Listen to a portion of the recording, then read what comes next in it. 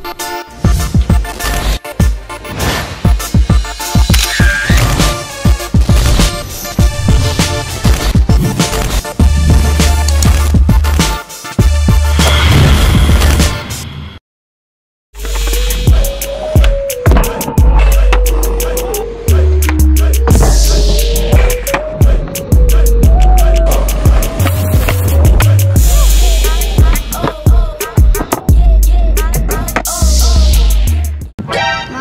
Pobrecito, mamita perro. Homies, no me están dejando entrar.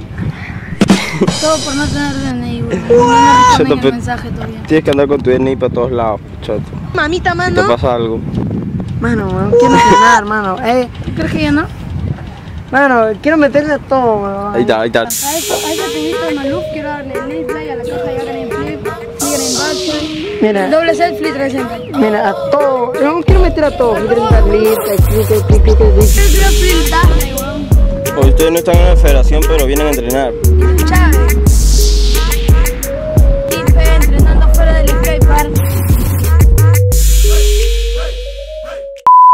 Encuentro con uno de los promotores de lo que está empezando a ser una escuela de skateboard. Es una práctica muy sana, requiere buenos reflejos, requiere equilibrio, requiere concentración y otras habilidades que no encontramos en otros deportes como el fútbol, el básquet. Lo practican más de 500 millones de personas alrededor del mundo y entre los 10 primeros hay un peruano en las Olimpiadas.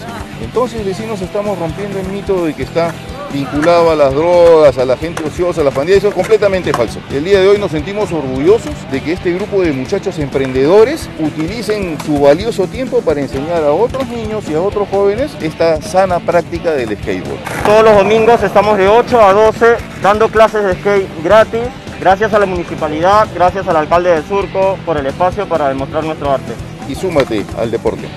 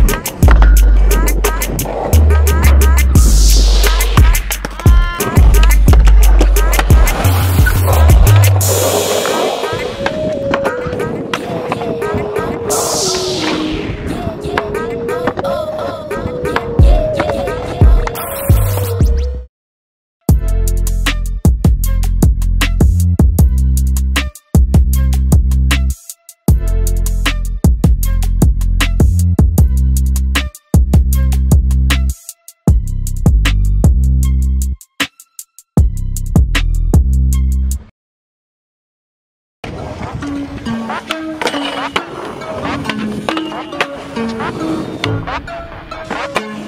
you.